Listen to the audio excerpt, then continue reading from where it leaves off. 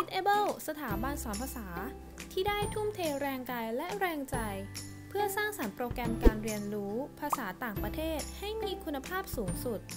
และเหมาะสมสำหรับเด็กและเยาวชน ตั้งแต่ปี 2552 ที่ Kidable เรามีหลักสูตรการสอนภาษาอังกฤษ และภาษาจีน โดยมีการเรียนการสอนในรูปแบบกิจกรรมการเล่นต่างๆ พื่อให้เกิดพัฒนาการทางด้านภาษา ความคิด ความเข้าใจได้อย่างรวดเร็ว นอกจากนี้ Kidable ยังมีบรรยากาศที่เป็นมิตรต่อเด็กๆ ให้เด็กรู้สึกปลอดภัยและกล้าแสดงออก เพิ่มความมั่นใจและเปิดประตูสู่ความเข้าใจวัฒนธรรมที่หลากหลายได้ โดย Kidable นำทฤษฎี Montessori มาประยุกต์ใช้กับการเรียนการสอน ซึ่งเน้นในเรื่องการฝึกปฏิบัติจากตัวผู้เรียน และในห้องเรียนของ Montessori เด็กๆ จะสามารถเลือกสิ่งที่ตัวเองมีความสนใจที่จะเรียนรู้ และคุณครูมีการสอนและจัดกิจกรรมต่างๆ ให้เหมาะสมกับวัยของผู้เรียนอีกด้วย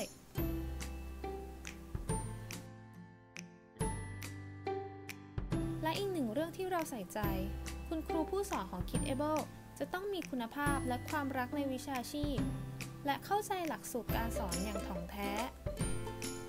ราะที่นี่เราสอนและพัฒนาเด็กๆ ตั้งแต่อายุ 1 ปีถึง 12 ปี โดยจัดหลักสูตรให้เข้ากับช่วงวัยของเด็กๆ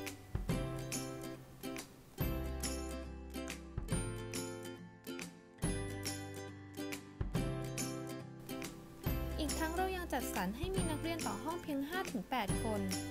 เพื่อให้การเรียนรู้มีประสิทธิภาพสูงสุด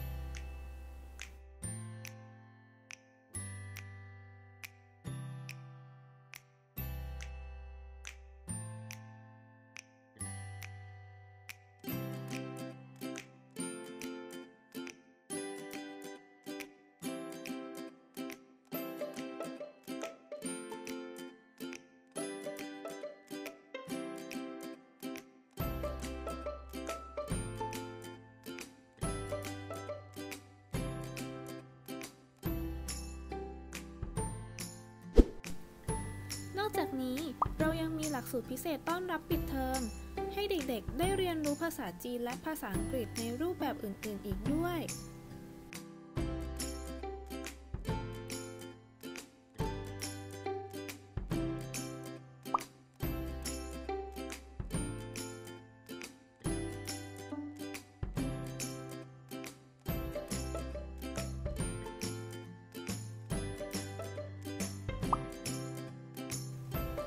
เมื่อเด็กๆเรียนจบหลักสูตร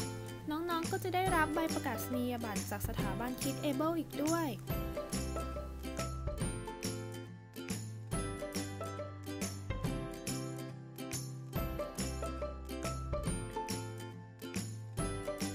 Kid Able ได้จดทะเบียนเป็นโรงเรียนภายใต้กระทรวงศึกษาธิการ และเรายังเป็นสมาชิกของสมาคมไทยแฟรนไชส์อีกด้วย และในตอนนี้เรามีแฟรนไชส์ มด 30 สาขา ทั้งที่ตั้งอยู่ในกรุงเทพปริมณฑลและต่างจังหวัด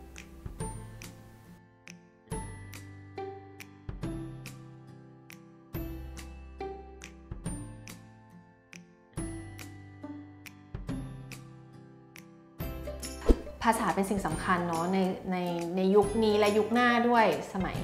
ยุคที่ โลกมันเชื่อมกันหมดแล้วภาษาอินเทอร์เน็ตเอ่ยแล้วก็ภาษาอังกฤษเป็นภาษากลางเนาะที่ทุกโลกใช้ในการคอมมิ n นิเค e กัน แล้วทีนี้ข้อดีของ Kidable ก็คือจริงๆ มองหาภาษาจีนด้วย และภาษาจีนสำหรับเด็กเล็กที่ผ่านกิจกรรมเนี่ยมีไม่เยอะ แล้วก็อย่างน้อยในบริเวณนี้มีให้เลือกน้อยมาก เพราะฉะนั้นก็เลยเอ่อมอง Kidable เป็น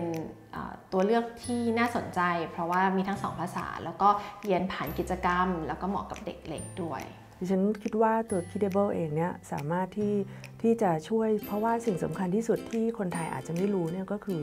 จริงๆ ช่วงอายุ1ถึง12 ขวบเนี่ยเป็นช่วงที่สำคัญที่สุดกับการพัฒนาการ บางคนก็บอกไม่เป็นไรหรอกเดี๋ยวโตขึ้น ค่อยไปเรียนภาษาเพิ่มเติม ทุกอย่างค่ะไม่ใช่ภาษาอย่างเดียวหรอกดนตรีหรืออะไรต่างๆเนี่ยมันจะช้าไปล้วซึ่งการเรียน early learning stage ในช่วงตั้งแต่ สัก 3 ขวบขึ้นไปถึง 12 ก็เป็นอะไรที่สำคัญที่สุด หลังจากนั้นเราก็จะช้าและไม่สามารถที่จะคืออาจจะฝึกฝนได้แต่จะไม่ดีเท่าช่วงนี้จะเลยคิดว่าการเรียนภาษาเนี่ยมันต้องฝึกตั้งแต่ตั้งแต่ต้นนะคะ ไม่ใช่เข้าโรงเรียนสักสิบขวบแล้วค่อยค่อยว่ากันอะไรอย่างเงี้ย Kidable เป็นรูปแบบการเรียนการสอนที่ไม่ได้เป็นแบบติวเตอร์ โดยตรงนะครับ ใช้กิจกรรมเป็นการนำในการสอน แล้วก็ให้กับเด็กๆเนี่ยรู้สึกสนุกสนาน ที่จะทำให้เด็กเนี่ยสามารถนั่งแล้วก็ตั้งใจเรียนอยู่ในช่วงเวลา 2 ชั่วโมงได้ เพราะว่าเด็กวัย 1 ขวบถึง 12 ขวบเนี่ยคงไม่สามารถที่จะนั่งเรียนในระยะเวลา 2 ชั่วโมงต่อเนื่องได้ ถ้าไม่มีกิจกรรมเป็นตัวคอยออทำให้เขารู้สึกสนุกสนาน ไปด้วยครับเราเห็นว่าความมั่นคงของในแบรนด์เนี่ยมันค่อนข้างชัดเจนแล้วก็เติบโตขึ้นเรื่อยๆ บวกกับแบรนด์ Kidable เนี่ยค่อนข้างมีเอกลักษณ์ตรงที่ว่าสอนเด็กผ่านภาษาเนี่ยเกี่ยวกับใช้กิจกรรม เพื่อให้เด็กได้แบบใช้ภาษาได้อย่างเป็นธรรมชาติ ซึ่งจริงๆแล้วตรงนี้เป็นวิธีการสอนเด็กหรือสอน วัยเบบีอย่างเงี้ยค่ะ ค่อนข้างที่จะชัดเจน เพราะว่าด้วยความที่เราสอนลูกมาด้วยการทำกิจกรรมมาอยู่แล้ว ก็เลยชอบในแบรนด์นี้